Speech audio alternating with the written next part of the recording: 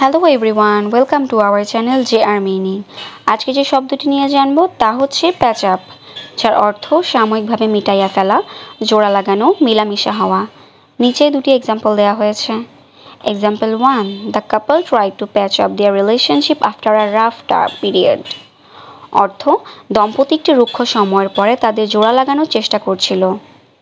Example two friends often patch up misunderstandings with open communication অর্থ বন্ধুরা প্রায়ই খোলামেলা যোগাযোগের মাধ্যমে ভুল বোঝাবুঝি তৈরি করে।